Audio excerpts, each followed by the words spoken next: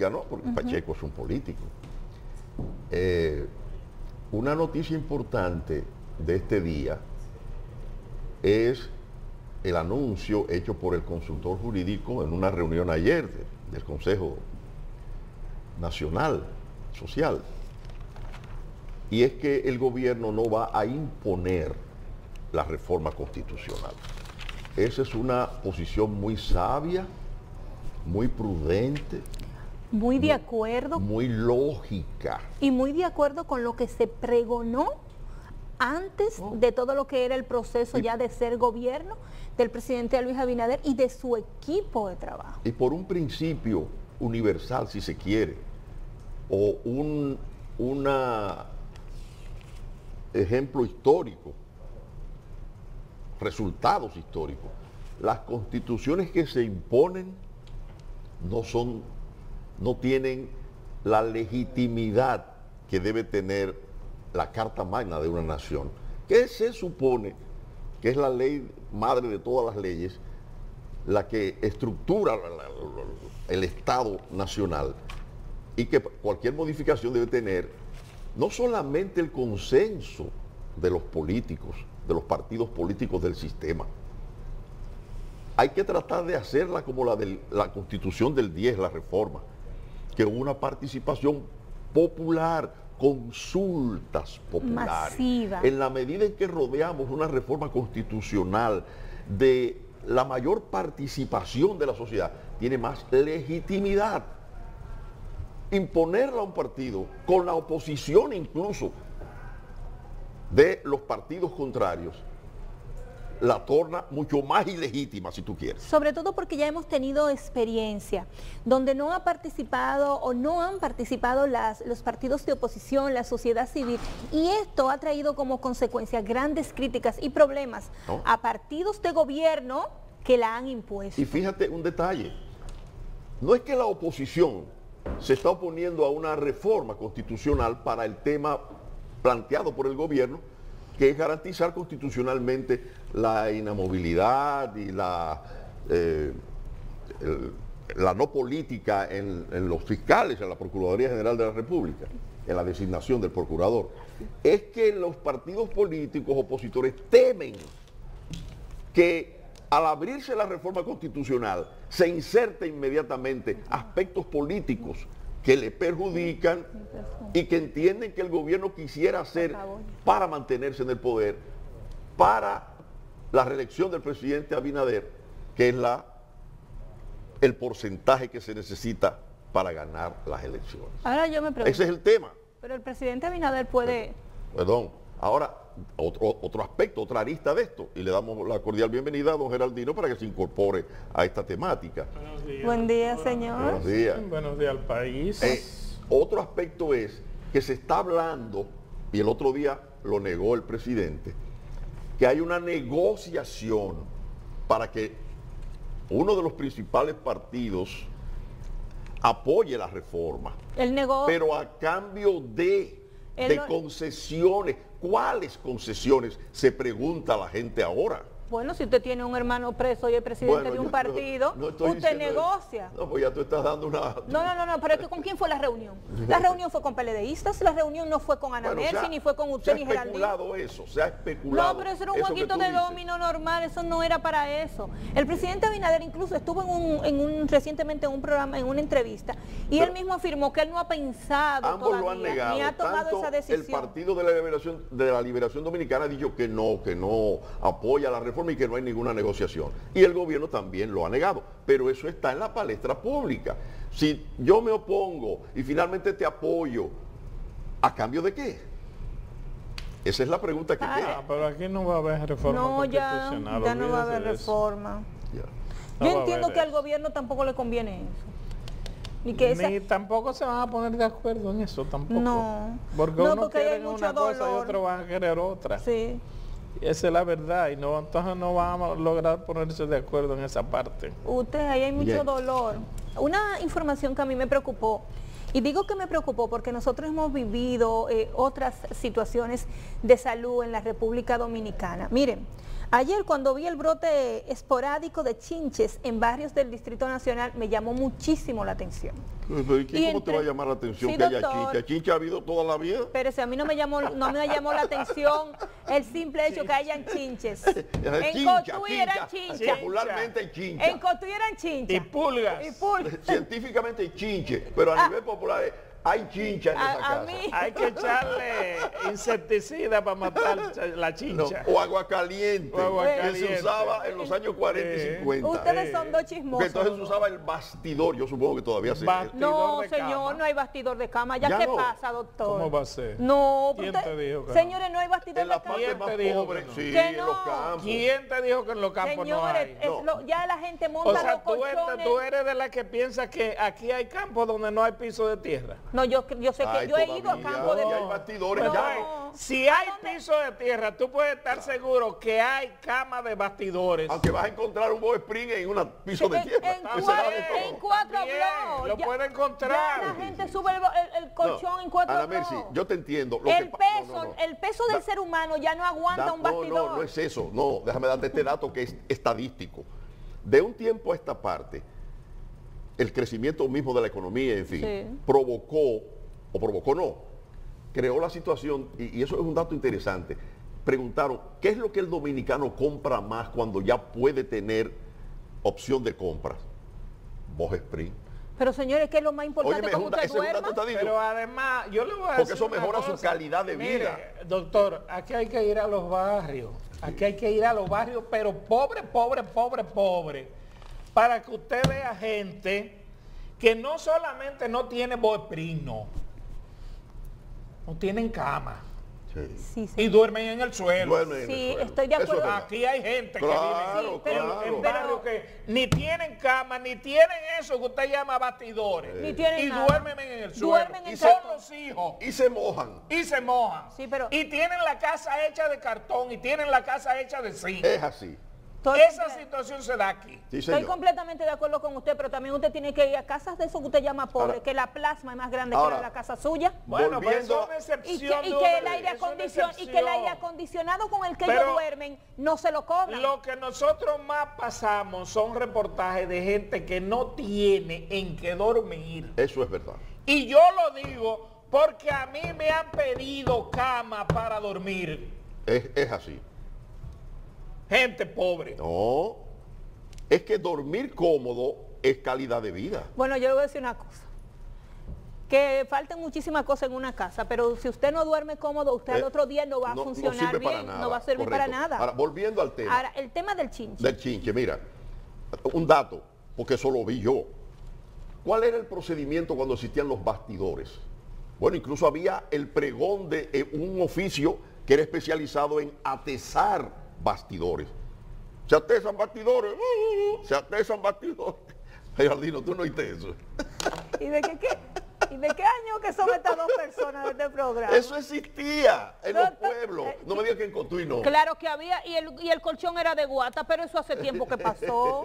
Se atesan bastidores, pero eso hasta el otro día. Ya eso desapareció, pienso. Ahora, Tú sabes cuál era el procedimiento, entonces no había insecticida como ahora, que tú encuentras diferentes marcas y tamaños y con perfume. No había nada de eso. Era con agua caliente, hervida, que se lo echaban a los batidores. Ahora yo le pregunto a usted, que, ah. que era mi preocupación y que ustedes dos me malinterpretaron. ¿Hasta dónde tiene un país la situación para volver a tener una cantidad de chinchas. Pero siempre ha existido el chinche, solo que se desarrolla cuando hay... ¿Cuando hay qué? Falta de higiene, falta de agua, hacinamiento. Gracias. Como el piojo también. Gracias, señor. Ahí esa es la noticia. Como dice cuando te van donde, donde el jefe de redacción. óyeme, óyeme, óyeme. Piojo, chinchas o chinches sarna, la raquiña popular. Eso es falta de higiene y Mosquitos, Mosquitos, jejenes. exacto, también.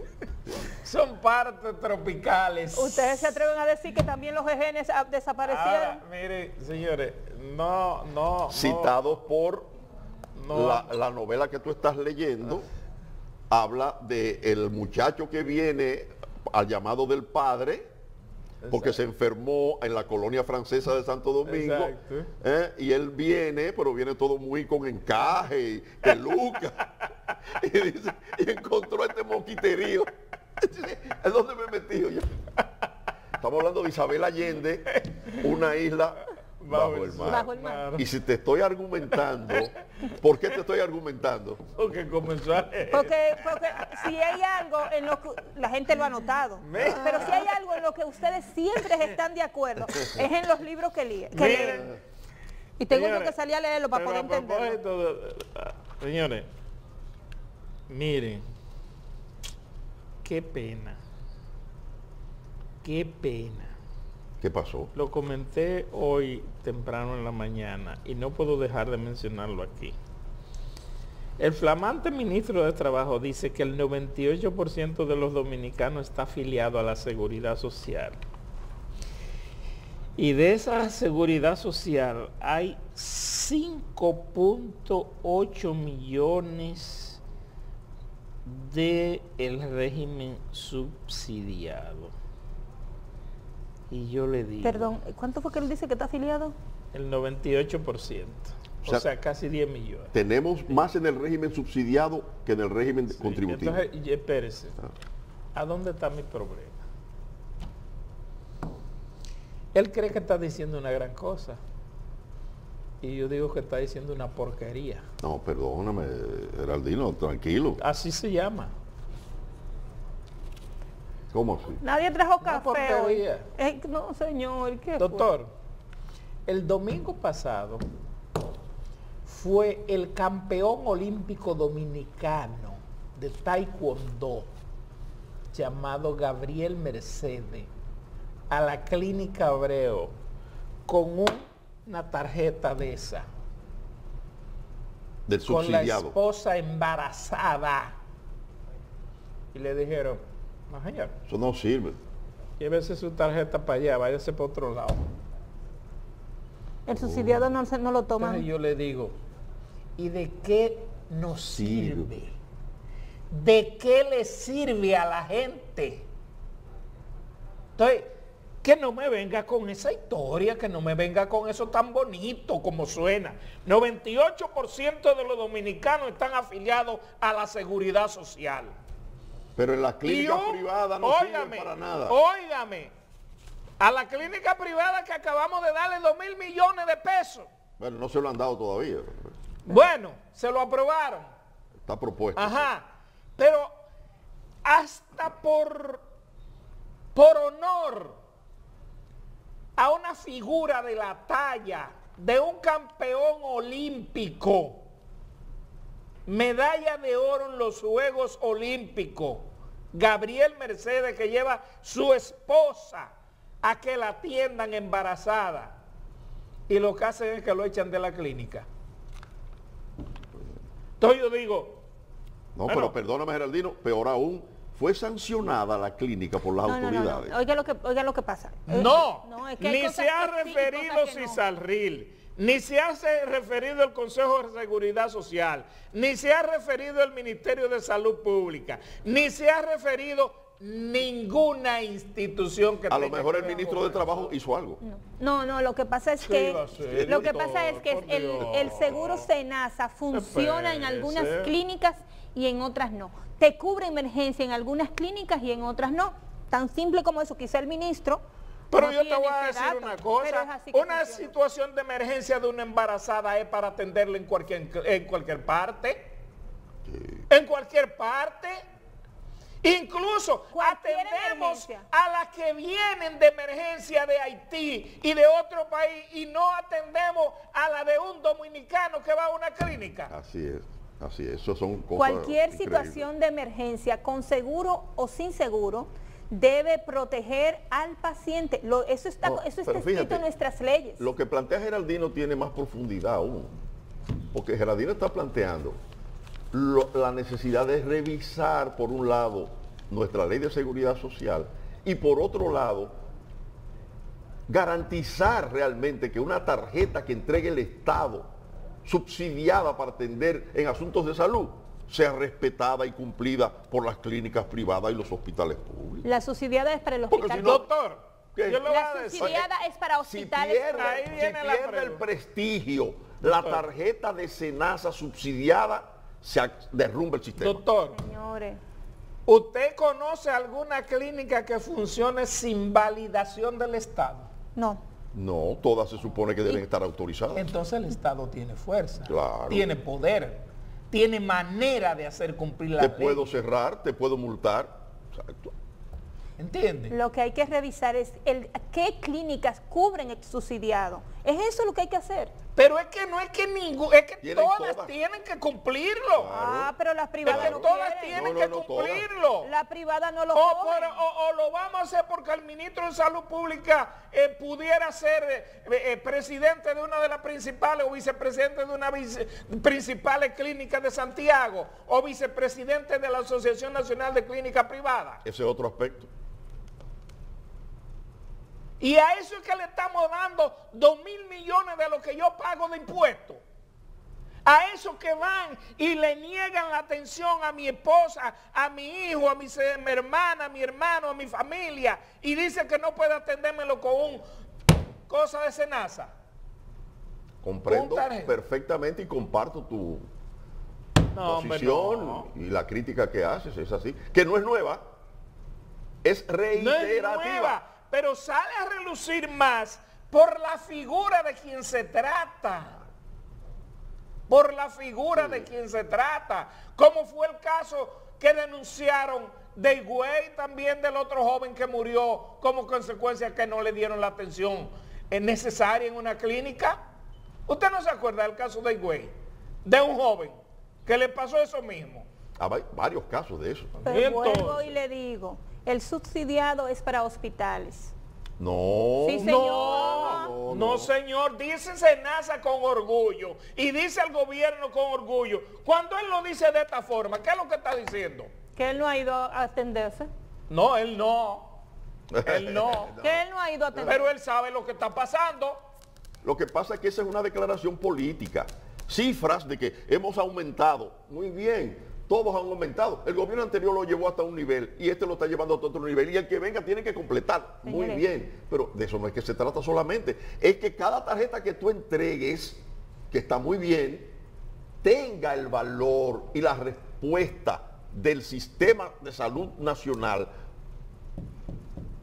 para lo que esa tarjeta indica. Denme los servicios de salud que están estipulados. Pero ustedes se están refiriendo al del gobierno, señores. Perdóname, el seguro privado ¿Tú sabes es que en la práctica qué es eso? Que yo tengo una tarjeta que me dé el gobierno, la meto en un cajero para buscar dinero y me sale en la pantalla alguien que A mí me salen dos esposas. A mí me salen dos esposas. La agarramos. Este programa- usted está- no, no, no, miren. es una cosa o- demasiado Esto es una seria. cosa muy seria. Y Ahora, ese, y en ese materia de salud es peor porque es la vida. sí, pero ese es la vida. ese tema tiene que llamar la atención del gobierno porque el sistema de seguro de nuestro país, seguridad social, seguros privados, seguros del gobierno, llámele como usted quiera, son personas que manejan una empresa privada a su antojo.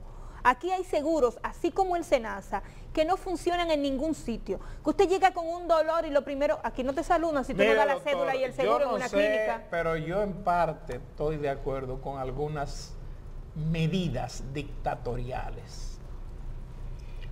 Sí, yo ¿Usted también. sabe por qué? Porque en un gobierno donde se supone que cada ciudadano consagrado en la Constitución tiene derecho a la salud y a nivel internacional también, yo vengo, agarro esa clínica y la cierro.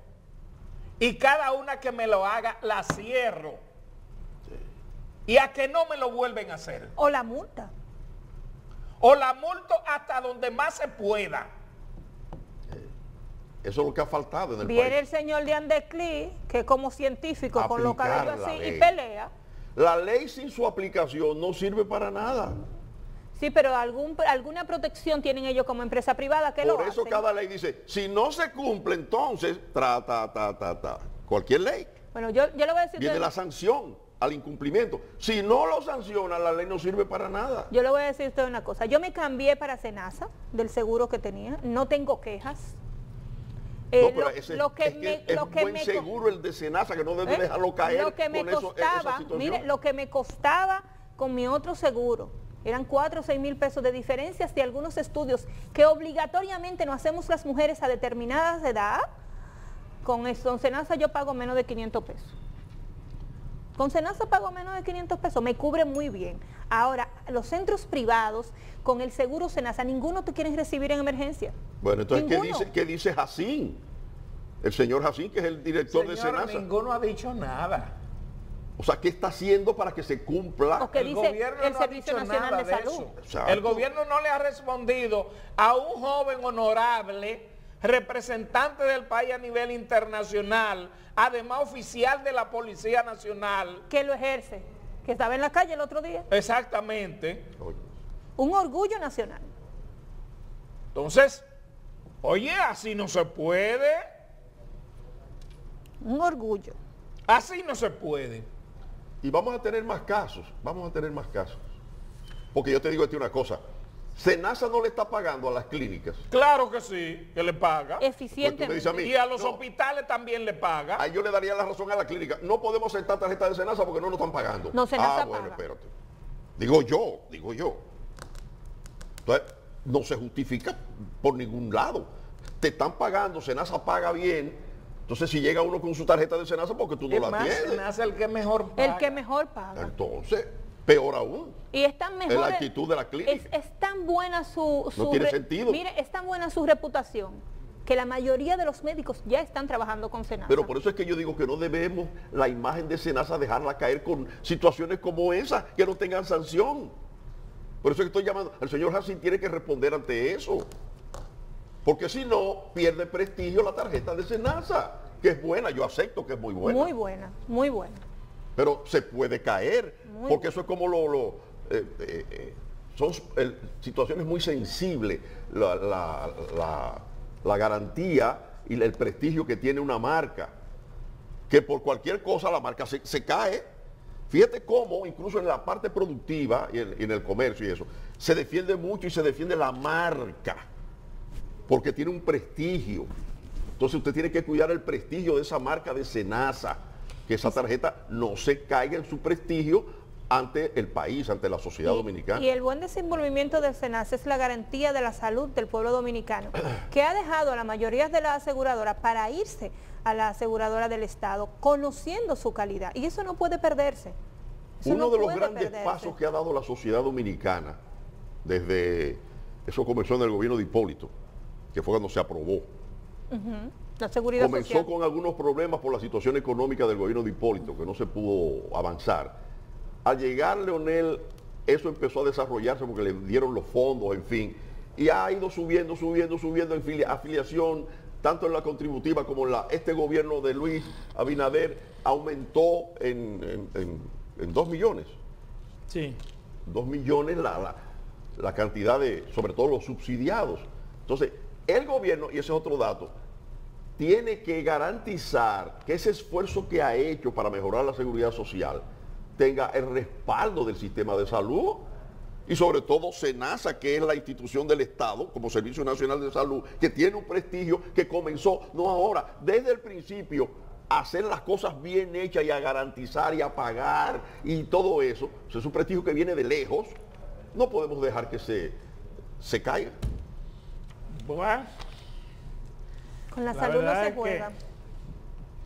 así no se puede. Así no se puede. Yo Eh, dije lo de que si se estaba pagando, porque cuando yo me acuerdo que estaban aumentando la cantidad de afiliados subsidiados, yo dije, está muy bien, pero recuérdense que cada persona que se le da una tarjeta tiene que ir al sistema de- de salud con el pan debajo del brazo, o sea, con los fondos que tiene que dar el gobierno para darle respaldo a esa persona, que esa tarjeta, pues, te afilié, no, afilié a Mercy, sí, tiene que eh, darle al sistema de seguridad social tanta cantidad de dinero mensual. Si el gobierno falla con eso, hay problema. Bueno, miren, una noticia interesante aquí también. Van a comenzar a privatizar los consulados. Bueno, eso habría que verlo, no es mala idea. No, no es mala idea. Es recaudando que estamos, señor. No es, para recaudar determinados servicios. Usted va a- al consulado de Estados Unidos, usted va. Ahora, eso lo provoca pica- los malos cónsules y el relajo que tienen en, en la prestación de esos servicios. No es los No. malos cónsules, doctor. Ah, y que, Es el propio Estado que le permite eso. ah, bueno, exacto. O sea, cuando te nombran te dan esa prioridad. Esa, Exactamente. Sí. Como los de Haití. Exactamente. No, Den pero visa ahí, eh, gánense todos esos cuartos. ¿no? gánense todo esos cuartos y le toca al Estado le toca como un 14% de todo lo- de la- del valor de la visa. Lo que pasa es que ¿Cómo ahí 14? ocurre como en la Policía Nacional. Después todo lo ¿Y el otro, otro? para el que está ahí. 80 y pico. En ese esquema de los cónsules pasa como en la Policía Nacional. Hay un esquema de abajo Hacia arriba. hacia arriba. Ok. ¿Y, ¿Y qué yo tengo que hacer para que me nombren? ¿O tú te crees que todos esos millones que se ganan esos cónsules dando visa solamente para ellos? No hay que repartir, doctor. Ah, Si bueno. no se reparte, estamos mal. Ah, bueno. ¿Y el de la policía cómo es que se cobra? El sistema de reparto viene desde la colonia. ¿Y el de la policía, el que dice usted de la policía, cómo?